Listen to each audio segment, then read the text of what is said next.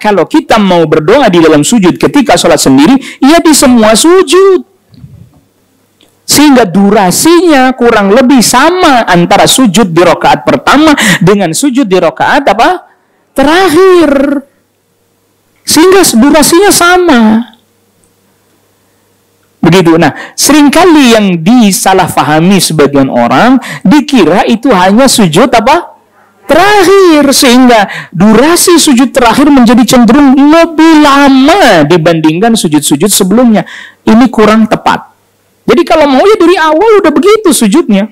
Polanya. Lagi pula kan ada beberapa sujud. Misalnya dua rakaat saja ada empat sujud, betul?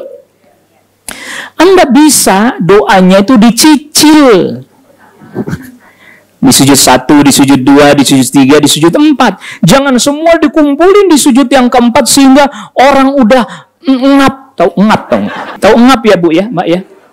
Udah oh, oh, lama amat sini, mam imam kagak bangun-bangun. Terdapat faedah kita tidak boleh menjadikan salah satu sujud kita lebih lama dibandingkan yang lain.